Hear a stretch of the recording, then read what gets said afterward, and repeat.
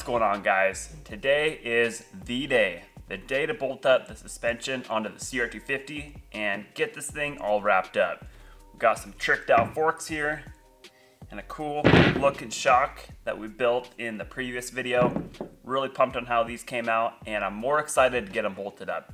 It's been a long time coming and make sure you stay tuned for the entire video. We do have a giveaway at some point. I apologize if I'm a little slow today.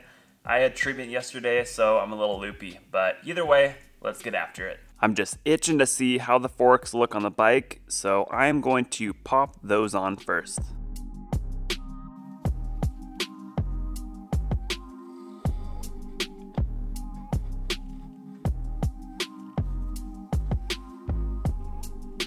So I'm going to start with the fork height about one or two millimeters above the triple clamp.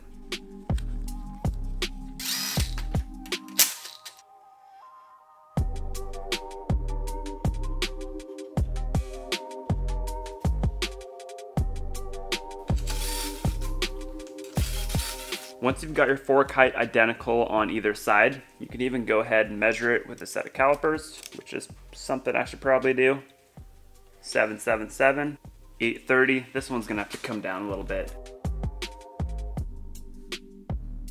All right, that is 7.8, so close enough right there. And what I was saying, once you have the fork height set, torque the triple clamp bolts the top bolts are 16 foot-pounds and the bottoms are 14. And then as you're torquing these, you want to alternate from the top one to the bottom one.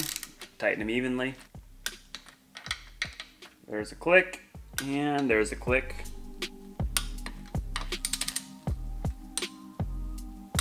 Man, that is looking ridiculously good. But the forks are kind of missing something right about here. I'll stick those on a little later. Now let's get this poor thing on been over here in the corner collecting cobwebs. Let's get it back where it belongs.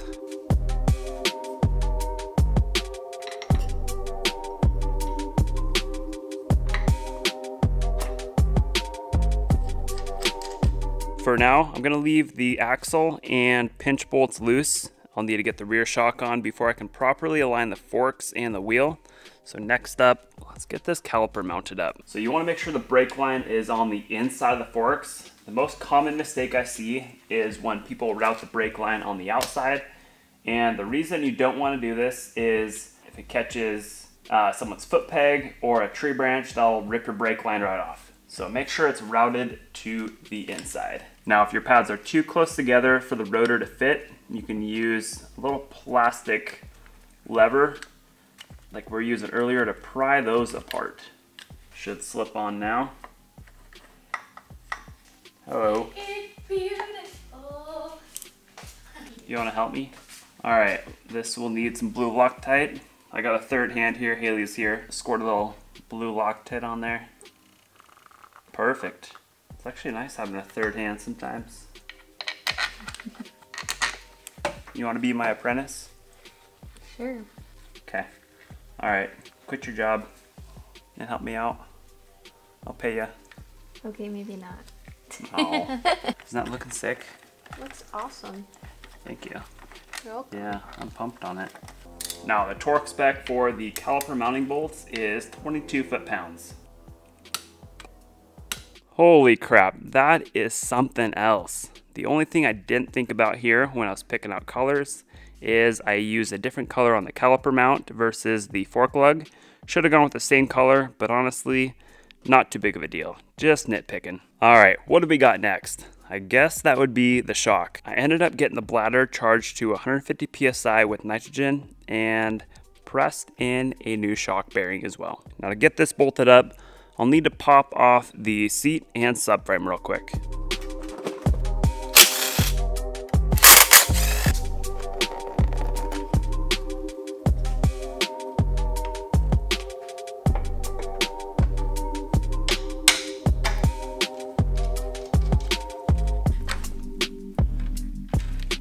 Looking dandy. Now to get back to the front end with the wheel and fork alignment, we're going to start off by torquing the axle nut to the spec, and that is 65 foot-pounds.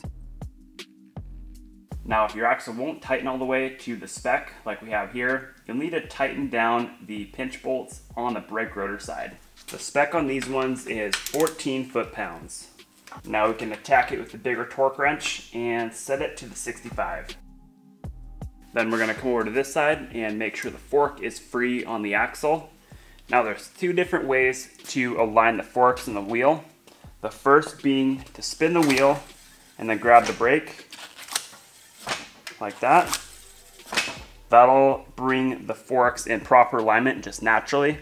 And the other way to do that is by taking the bike off the stand and compressing the suspension. Now we're gonna compress the forks and this will also naturally align the forks and bring them into their place. Now we'll just need to torque the bolts on this side. It's the same spec as the left side. So it's super important to have your forks aligned. If they are misaligned, you'll actually cause wear on your lower tubes and your suspension won't be very smooth. It'll be hard to compress. One thing that's helpful is having an O-ring on the lower fork. That'll show you how much your suspension is compressing and that way you can tune accordingly. Another thing you can align on the bike once you have the chassis completed, this is actually a pretty cool concept. I've noticed a difference with this in the past, but you can align the rear suspension with the motor in the frame. Everything kind of works as a whole. I actually learned this little trick from Trey Canard's mechanic, Brent Presnell, so shout out to him. But you want to have your rear shock bolts loose, as well as your linkage bolts, your swing arm pivot, all your engine mounts. So we'll need the bike leaned up against the wall. You're gonna jump on it, compress the suspension a few times, and then let it slowly return to its natural spot. Then we'll start by torquing the swing arm pivot bolt. This is like the very center of the bike where everything pivots and arguably the most important. With the bike off the stand and under its own weight, we will start torquing these bolts. The swing arm pivot on this bike calls for 65 foot-pounds. Next up is the linkage bolts. This one is 59 along with the front and the one that connects to the swing arm and the shock mounting bolts are 33 foot-pounds for top and bottom.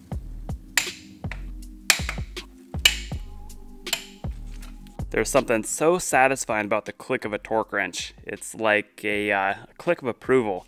So now for the engine, the front, bottom, and top bolt here are all 40 foot-pounds and then the two way up there are both 20. So that's it for torquing, but man, I am so excited with how this thing is progressing.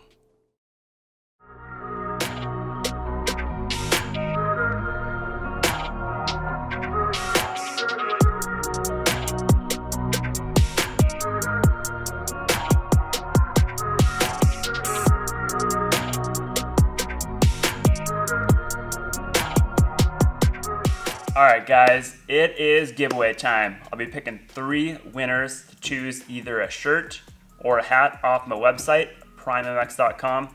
Got a bunch of different shirt and hat styles over there. Everything's super high quality.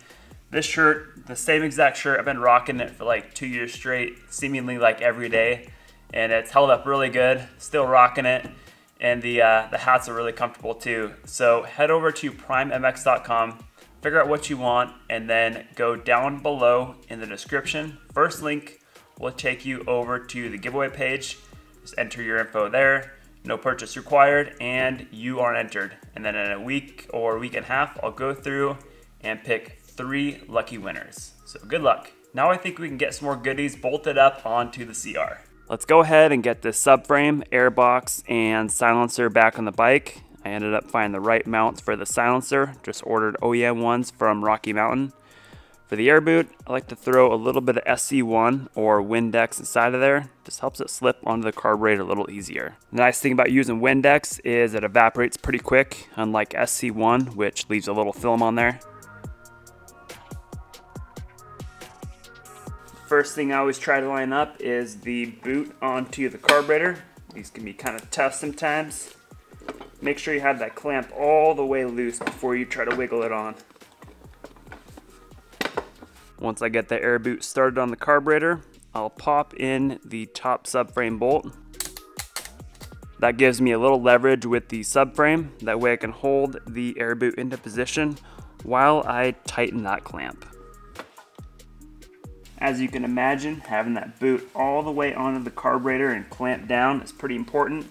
That'll always be your first source of an air leak and therefore dirt traveling in your engine. So very essential that that thing is tight. Now just throw a little Loctite on those subframe bolts and you'll be golden.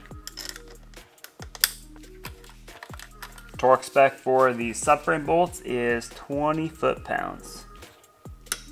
Now, some of you guys might be confused on what bolts to torque, which ones not to, what bolts to use Loctite on, and so on and so forth. So here's my general rule of thumb. All of the major bolts, such as the engine mounting, suspension, uh, triple clamp, axles, all that stuff needs to be torqued to the factory spec. And then anything below an 8 millimeter thread, I typically don't torque. So that would include like gas tank bolts, uh, radiator mounting bolts, airbox bolts, and clutch cover bolts. I typically won't torque any of that stuff. I'll just go by feel. Now, as far as which bolts to Loctite, you obviously only want to Loctite bolts that don't have a locking nut on it. So a locking nut looks like that one there on the sprocket. Don't want to Loctite those, not necessary. But on bolts that commonly come loose, like subframe bolts, seat bolts, the Kickstarter bolt, and brake pedal bolt, those will definitely need to be Loctited. And then as far as pinch bolts, like the triple clamp and axle lug, those are under a tension, so no need to Loctite those. I hope this helps you guys and clears up any confusion when it comes to Loctite and torquing. Well, how about getting the silencer back on? Let's go for it. I have no idea how I forgot about these trick little carbon fiber guards. They go on the fork lug to protect that beautiful Cerakote. So these are from CMT Carbon out of Italy. I'll have a link down below to where you can find them. You want to run a washer in between the guard and the lug, that way you don't damage that beautiful carbon fiber.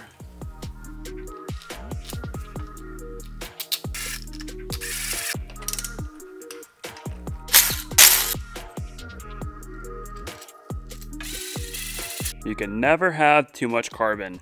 So we've got the carbon tank, carbon master guard, caliper guard, and rotor guard down here, all from CMT. Now, if there's one more thing I wanna do in carbon fiber, that would be the silencer or at least the end cap on this one. So if you guys know of any CR250 carbon silencers or even just the end cap, go ahead and tag me in some Instagram posts. I would love to pick one up for this bike. I think that'd be the cherry on top. I knew I was missing a couple more things. So this piece goes on the joint of the silencer and pipe. And then we've got the gas tank strap. And as you guys saw, we've got a works connection skid plate. So let's get this thing fastened up. You can see the frame already has a dent in the rail from before. So we definitely want to prevent that from happening again. And we also got to protect those fresh cases. So we've got four brackets here, three of which are the same, and then one that has a shorter bracket or shorter angle. This one is gonna go on the right rear of the skid plate. And these screws you'll definitely want to Loctite. If you don't have Loctite on them, they'll back out pretty quick with all that vibration. Let's get this bracket slipped in the frame, just like that. Now just a matter of getting the rest of these brackets screwed on. Before I get those front brackets in, I'm gonna stuff the foam inside of there. The foam just helps prevent any mud from packing up in the skid plate. And now we just gotta tighten this baby down.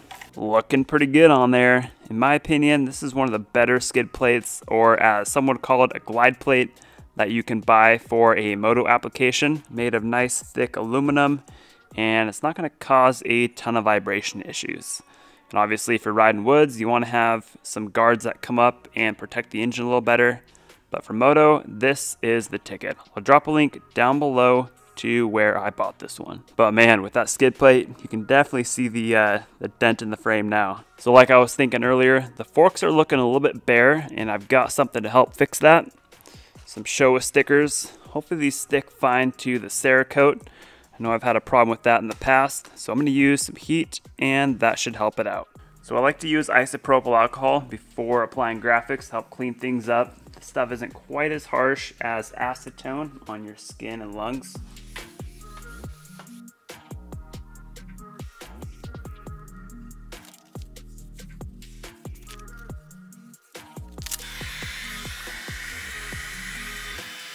That red is definitely a little darker than I'd expected, but I think it looks pretty good on there.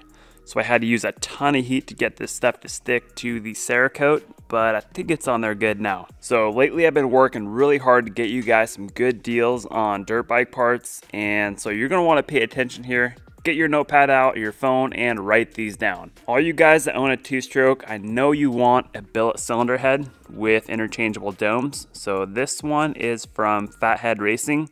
To save 10% on those, use the code CAM10. And then for the swing arm pivot system, this is a greasable setup, allows you to grease your swing arm pivot bearings with just a grease gun here. That whole setup you can save 10% on by using the code CAM10 once again. I'll have all the links to these companies as well as those codes down below in the description. Obviously you guys can tell the only thing we're missing at this point is plastics, so why don't we dig into that right now. Now the first thing we've got for plastics is a set of red fork guards here, along with some graphics from Rocky Mountain. These are from their graphic company called Attack. We'll have to wipe down the guards with alcohol here to clean them up. Get this graphic lined up here at the bottom.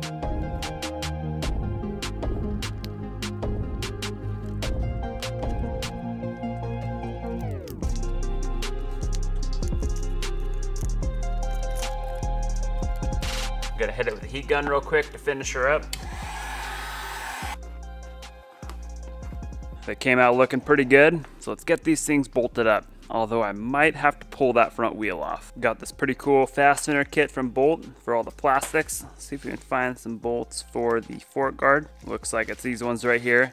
It's very important to use the right length of bolts. If you use too long of a bolt, you'll actually dent the tube.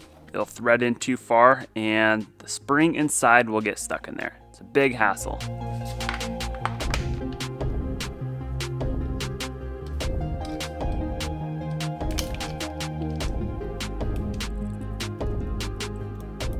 One little thing that kind of bugs me about Hondas is these fork guard bolts, how tough they are to get to.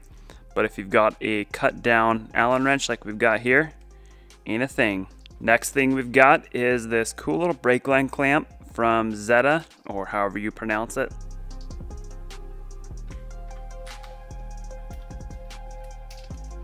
I think we're ready to get some fenders on this bike. You can kind of see the theme and the colors I'm going with.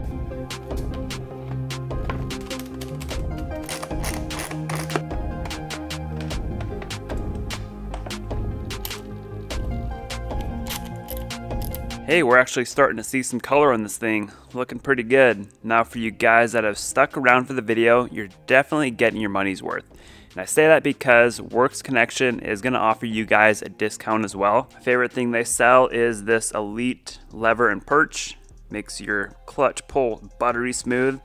I also have their radiator braces, the skid plate we just installed, uh, the master cylinder caps, those always look super trick. So to save 20% on Works Connection parts, use the code CAM20. Heck of a deal. And of course, we've got some side plates with my name and number on them. Got Pryme MX on there as well. Excited to see how these fit on the bike.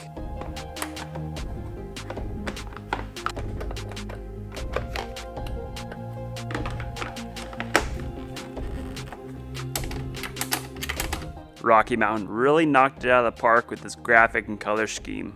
Let's check it out.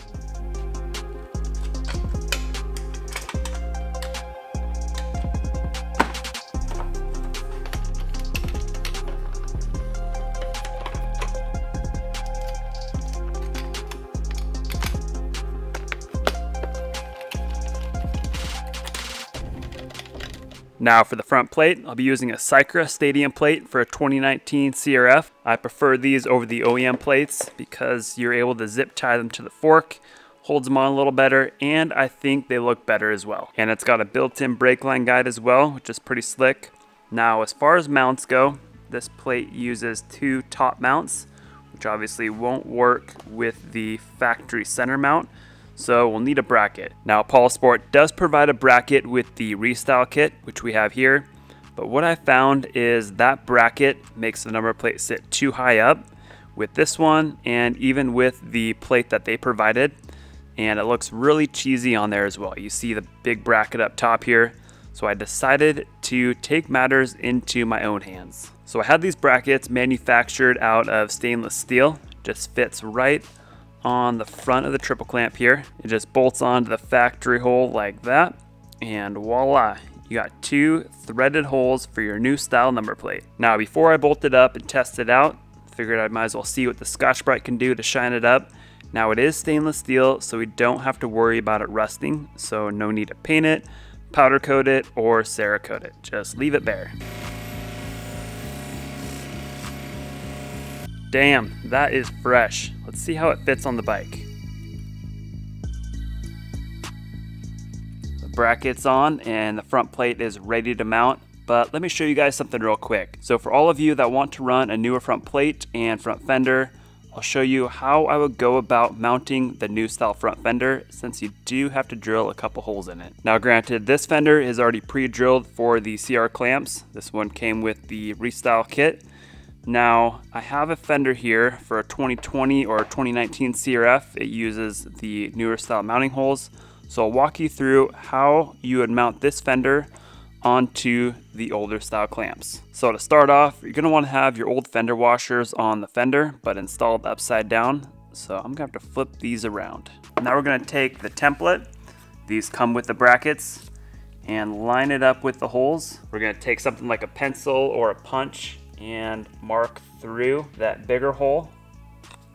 And then get that template centered on the hole and take a fender bolt or a six millimeter bolt and push it through that hole all the way through like that.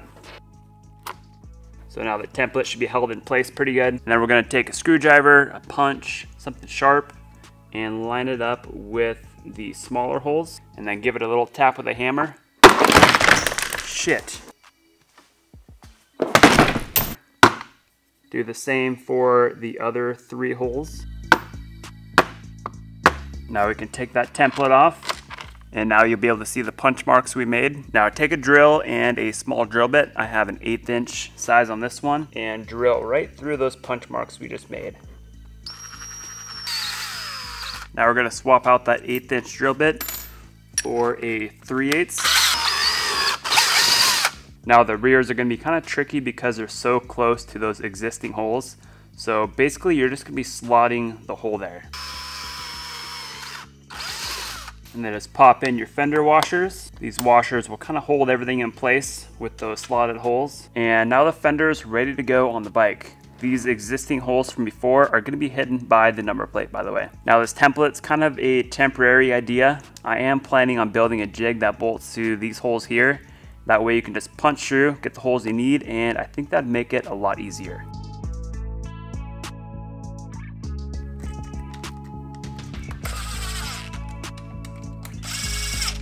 It's a bummer there's not a cleaner way of mounting this. Honestly, I could probably use some bigger washers and help cover up those slotted holes. But I've ran the same setup on my 125 for probably a couple years now. You guys probably never would have guessed I had a hacked up fender on there, but yeah, works great, never had any issues with it. Now I'll show you guys why we couldn't use the existing holes.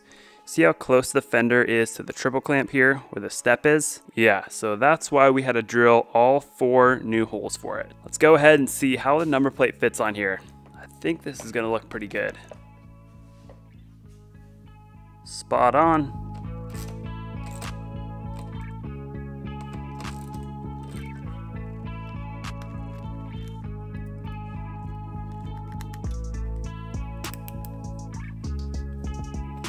Now the reason for the tubing over the zip tie is so the zip tie doesn't wear into the coating on the fork. It actually happened on my 125, So I thought I'd be a little proactive this time on the 250. So that is it for the front end. Everything's mounted nice and solid, just like OEM. And one thing I noticed that's kind of weird with this fender compared to the other one, this one actually looks like natural on there. The other one, the Restyle fender, pointed higher up and looked kind of funky. So pretty glad I mounted this one instead. Now for you guys that want to restyle your front end just like I did here, I do sell the bracket that we installed. So you get the bolts, the template, and of course the bracket itself, all available over on my website, prymemx.com. So this bracket is for 2000 to 2003 CR125, CR250, and CRF 450. And if you have an 04 or newer, I have a different variation of the bracket. They use a little different mounting holes. So this bracket is for 04 to 07 and comes with bolts, the template, both of them all ready to go. So I'll drop a link to these brackets down below in the description. Just for reference, this is what the 04 to 07 bracket looks like on the bike. This is on my 125. Just mount up your number plate and you are set. All right, fellas, this is the moment we've all been waiting for to finally finish up the bike. And of course, the last thing is the seat.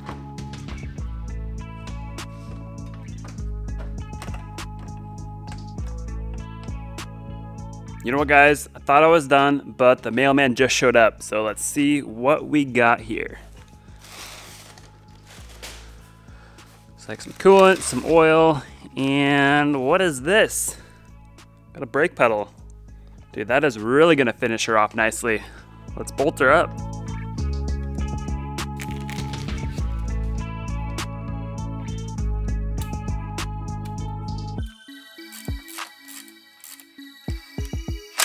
Pretty pumped on how that pedal looks on there. So it's got a folding tip, pretty nice. And then this is called a brake snake. So say if your pedal catches a rut or a root or whatever, this wire will prevent that pedal from folding out and making the pedal unusable. So these come with the crimps loose. So once you get the wire hooked up on the motor mount, pull that thing tight. You want a little bit of slack there, that way you can still use the pedal.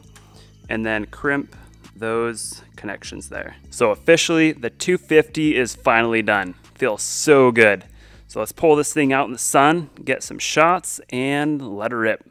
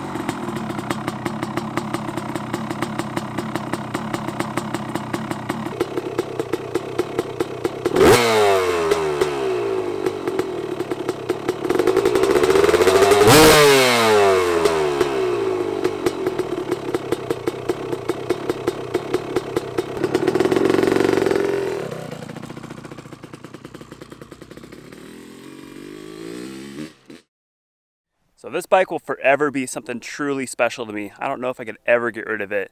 So as many of you know, I started this build in December of 2017, paid $400 for a beat up 2003 CR250, and shortly thereafter tore it apart, started uh, making some good progress on it, and then in July of 2018, I just about had the engine built. Um, the bike was coming along really good, and I started feeling really, really sick. And so I went into the doctor's office and was told I had an aggressive form of leukemia, and that was just a complete heartbreak to me. Obviously, this bike was put on the back burner, but when I was feeling good enough, I was still able to get out in the shop and turn some wrenches on it. Actually made quite a bit of progress and finished it up while going through cancer treatment. So to be able to build a bike while going through cancer was something I never thought I'd have to face, but we did it guys. Me and all of you, we built a really badass bike while going through some serious hurdles in life. And I just wanna say thank you to every single one of you from the bottom of my heart for sticking with me, knowing that this thing was eventually gonna get done and all I can say is we did it. We beat cancer, we built the bike, and we had a ton of fun along the way. So back to the bike for a second. Here are my thoughts on the Polisport Restyle Kit. So overall, I think it looks awesome. It really modernizes the bike, and for the most part, it actually fits pretty good. There's some things I do really like about it. The rear fender looks amazing. It lines up with everything underneath really well, really tucks in that subframe. The side plates look amazing as well really recreates that newer CRF style. Now for the shrouds, I do think they look pretty good for the most part. The only thing that I would change is I would trim this little piece off right here.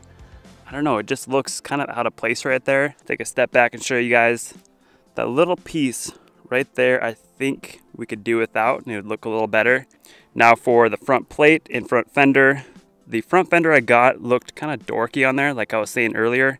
It pointed up a little higher, and the front plate wasn't a big fan of the standard or the OEM style front plate, so I switched to a Cycra stadium plate. And one thing I've noticed on all CR250s that have this kit on it, the rear shock adjuster doesn't line up very well. It should be centered in the hole. But when I put this kit on my 125, the shock lined up fine. So kind of weird with the 250s. And also one more thing with 125 is the silencer is a lot shorter and I think this kit looks quite a bit better on the 125 versus at 250. You can see how far that silencer pokes out. Not really a fan of it. There are some workarounds with that. I'm not quite sure what I'll do with it. I was kind of thinking of trimming this silencer down like a 125 pipe, but then I think it wouldn't work very well on a 250. So what I'm kind of thinking of doing is getting another one of these silencers, mounting it up on the other side with the side plate style. There's room for silencers on either side. So basically doing dual shorties on the back of this bike. I think it would look pretty cool, but for the most part, really digging the kit. At first, when I put it on, I was kind of hemming and hawing about it but kind of like the suspension, the more I looked at it, the more I fell in love with it. And after a few changes with a different front fender, different front number plate, I actually think it looks amazing on there. Really, really loving it now. And I have to give a big thank you to Rocky Mountain for supplying the restyle kit as well as doing the graphics up on this bike. So they actually have a graphic company. It's called Attack Graphics. They went through, completely built this graphic kit to my liking. And so big, big thank you to them. All right, so now that the 250 is done, a lot of you are gonna be wondering what's next. So I do have some ideas on what I'm gonna build next. I'll be picking up a bike within the next couple weeks. Little hint, it will be another two-stroke. So really excited about that. So as far as future videos with the 250, I will be doing a video on breaking it in, doing some riding with it as soon as I'm cleared to ride. Hopefully that'll be this fall. But yeah, lots of exciting things coming on the channel. So hang in there. Once again, thank you so much for watching the videos and supporting. I appreciate it more than you know. Till next time, keep her prime.